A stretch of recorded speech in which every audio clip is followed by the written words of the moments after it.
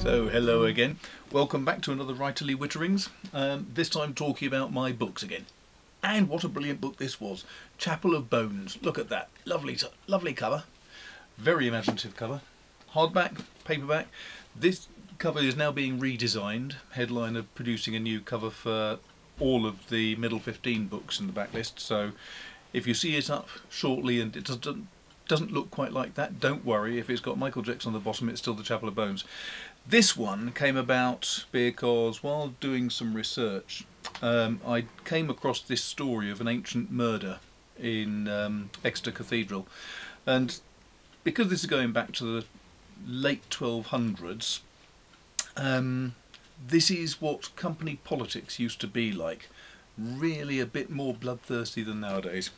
Um, what happened was that there was a bishop in Exeter who had real problems with his dean. He didn't like his dean. The dean was a guy called um, John of Exeter, quite a lot, which gives you a hint about where he came from. John Picot, his name was. And he had several difficulties for the bishop because he was the treasurer as well as the dean. It was illegal in those days, according to church law, to have more than one job. So the fact that he had two was a little bit iffy. Uh, but the other thing was that he was very keen on improving his own position in the world. He liked money, and the people of Exeter liked him because he was an Exeter born boy. So this was a difficulty for the bishop. And so the way that he hit upon to try to control the dean was to have a new position created, that of precentor and he imposed a man called Walter de Lechlade, Walter from Lechlade, uh, as the precentor, which is fine as a concept, but Walter was a little bit aggressive as a character. So when um, the dean went into the choir, for example, and went to sit in his choir stall, Walter de Lechlade would be sitting there already and blocking it so the dean couldn't take his own seat.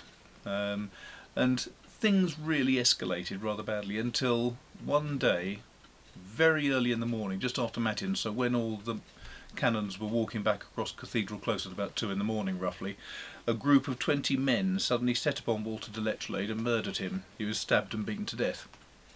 And they did a bit of research into this, and they couldn't get an answer as to who might be responsible, mainly because the investigations were largely in the hand of the Dean and his friends.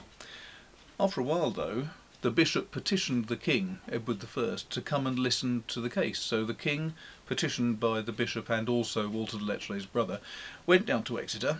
They arrived on the day before Christmas Eve. They opened the court on Christmas Eve itself, um, listened to all the evidence, and then on Boxing Day executed a whole bunch of people and imprisoned a load of others because it was quite obvious that um, this was a set of, as I say, company politics gone horribly wrong.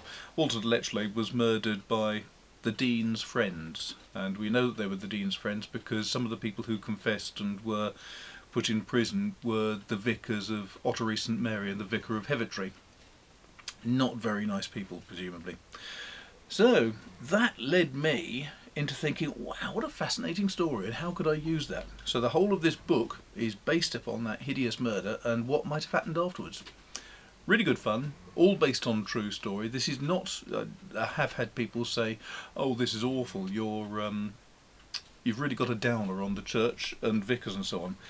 No, it's just that basically going back in these days, roughly one third of the male population of the country was in the church in some way or another, either as canons or brothers or vicars or lay brothers or workers.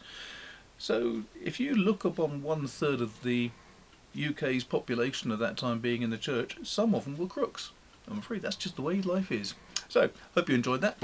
If you want to add comments, put any questions in or anything else, have a look down there. You can put your comments in underneath, and I look forward to seeing you next time. Cheers.